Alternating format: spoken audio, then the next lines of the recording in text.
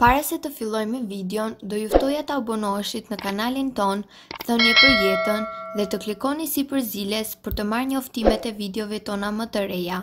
Faleminderit! Ja pse duhet ta ngrini limonin.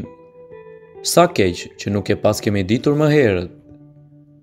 Limoni është një nga frutat më të mira për shëndetin tonë. Lufton parazitët e brendshëm, ndihmon në normalizimin e presionit të gjakut, si dhe është një antibakterial shumë më i mirë.